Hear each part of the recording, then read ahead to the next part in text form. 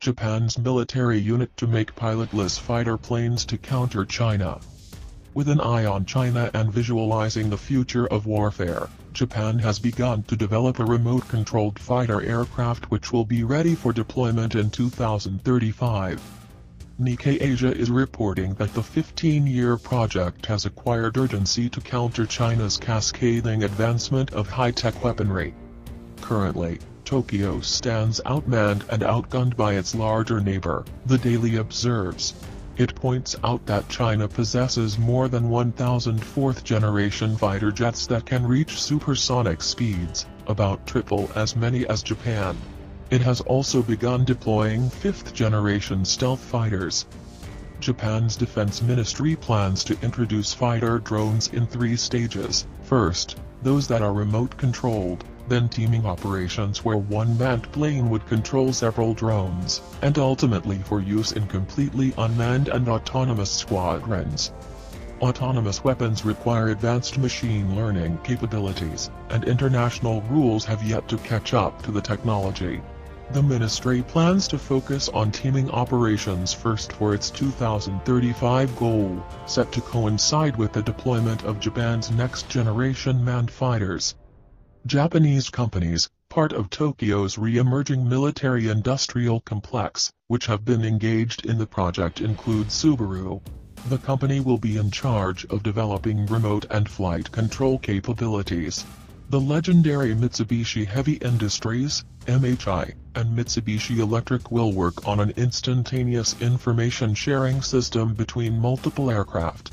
The ministry's acquisition, technology and logistics agency is also planning out artificial intelligence technology for the drones. Analysts say that the coming together of Japanese military-industrial complex evokes memories of another era when Imperial Japan was on a high.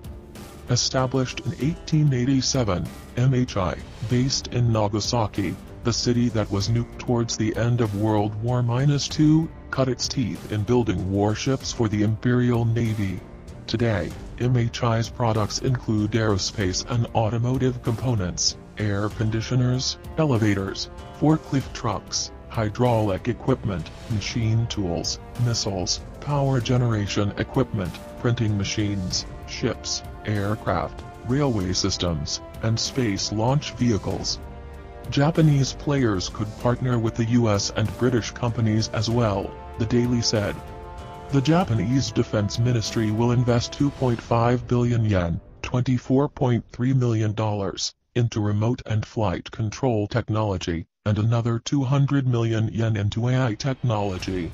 It aims to conduct a flight test with a small prototype around fiscal 2024 when the research phase is expected to wrap up and start designing the final product as early as fiscal 2025.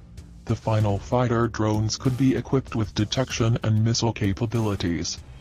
Japan's reliance on technology is meant to offset its shortfalls in manpower. The project will thus allow one pilot to control multiple drones, and having the jets share information with each other. The drones could also gather data in dangerous areas without risking the lives of Japanese self-defense personnel. In view of the Chinese threat, Japan is also an active member of the Indo-Pacific Quad, which includes India, Australia and US as partners.